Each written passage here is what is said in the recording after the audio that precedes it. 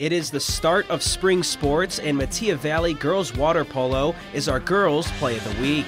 They shut out and scored nine goals in the first quarter against Hinsdale South. The Mustangs are coming off a 21 win campaign last season, and they probably could have scored 21 goals if they wanted to against the Hornets. Allison Leslie got things going with two of the first three goals for Metea. Addison Bludgeon lobs one perfectly over the goalie to make it 4 0 and gets another to make it 5. Michaela Paulding scored the next two goals, and then other goals came from Kendall Lucas and Emily Schalk, among others. The Mustangs would go on to win 15 0 over Hinsdale South, a perfect way to start the season.